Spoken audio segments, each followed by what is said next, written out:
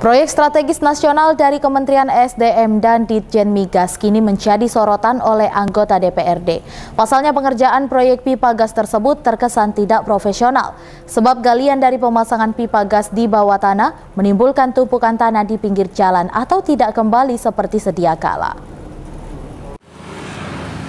Jika Anda memasuki kota Kuala Tungkal, maka akan terlihat di sisi bahu jalan pengerjaan proyek pipa gas bawah tanah, yang mana ini merupakan proyek strategis nasional dari Kementerian ESDM dan Ditjen Migas.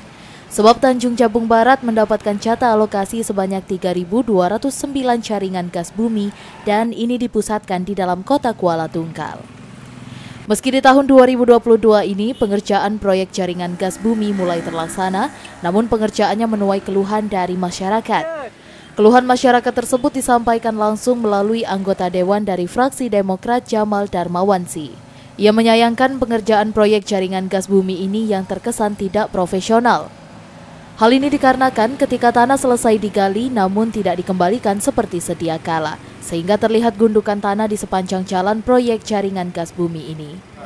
Kita pertama mengucapkan terima kasih kepada pemerintah pusat yang telah memberikan uh, suplai gas untuk rumah tangga. Namun yang kita sayangkan, apa yang dikerjakan tidak sesuai dengan harapan dari masyarakat. Karena ada beberapa badan jalan yang dilakukan penggalian setelah selesai itu tidak dirapikan kembali. Sehingga menyebabkan banyak pengendara yang mengalami kecelakaan. Dan kami berharap kepada pemerintah kabupaten melalui Pak Bupati akan memanggil kontraktor.